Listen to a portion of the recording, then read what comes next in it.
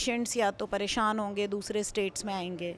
अभी जनता को ये नहीं पता है कि ये बिल क्या है। आज डटोसरा जी ने बोला है कि इस बिल को मैं समझ नहीं पाया हूँ पूरी तरह से।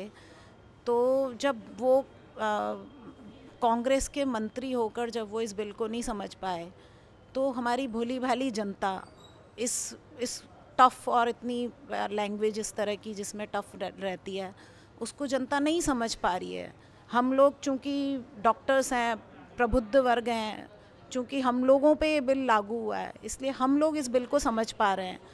आज हम इसका विरोध कर रहे हैं और यदि जनता तक ये मैसेज सही तरीके से नहीं पहुँचाया जाता है तो जनता तब परेशान होगी जब चिड़िया खेत चुप जाएगी। हम लोग अपने सेंटर्स को बेच कर हम लोग चले जाएँगे दूसरे स्टेट्स में कॉरपोरेट में काम करेंगे।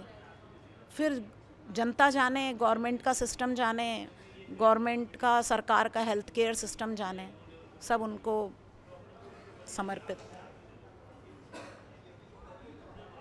मंत्री जी किसी भी कीमत पे इस बिल को वापस नहीं लेना चाहते। उसके बारे में आप क्या कहना चाहेंगे? लेना तो पड़ेगा। ये बिल उनको वापस तो लेना पड़ेगा। और नहीं लेंगे तो बहुत राजस्थान के साथ बहुत ही मतलब जिसे कहते हैं ना अमानवीयता का काम करेंगे वो। क्योंकि जनता बहुत त्रस्त होने वाली है। आप इस बात को अच्छी तरह मानते हैं कि डॉक्टर्स कभी भी भूखे नहीं मरेंगे। डॉक्टर्स कभी भी भूखे नहीं मर सकते, आप इस बात को समझिए। लेकिन जनता, जिसकी हेल्थ के लिए हम यहाँ सपोर्ट करते हैं, हम अपना जीवन लगाते हैं, इतने साल पढ़ाई करने के बाद हम लोग एक मुकाम हासिल करते हैं जहाँ हम किसी के लिए कुछ कर सकें। तो अगर हम लोग यहाँ पे नहीं होंगे, चले जाएँगे तो जनता भुगतेगी और सरकार को उसका परिणाम खुद भुगतना पड़ेगा। मरीज़ मरीज़ परेशान हो रहे हैं। ये ये जो मरीज़ अभी परेशान हो रहे हैं जिम्मेदार तो पूरी तरह सरकार है क्योंकि परेशान तो हम भी हो रहे हैं। लेकिन हमें बहुत दुख है कि मरीज़ परेशान हो रहे हैं।